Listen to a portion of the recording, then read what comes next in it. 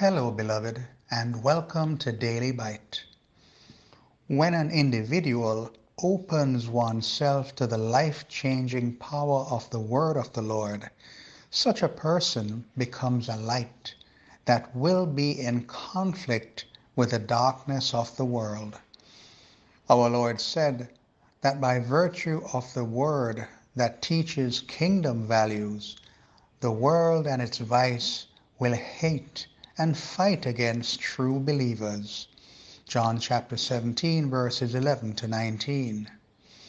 What is to be gained if we win the world and lose our soul in the process? Let the word of life strengthen and guide our daily lives. Let us pray. Loving Savior, your word speaks life into existence and grants eternal life to those who hear and follow you. May the conflicts we face serve only to strengthen our spiritual muscles of faith, hope, and love.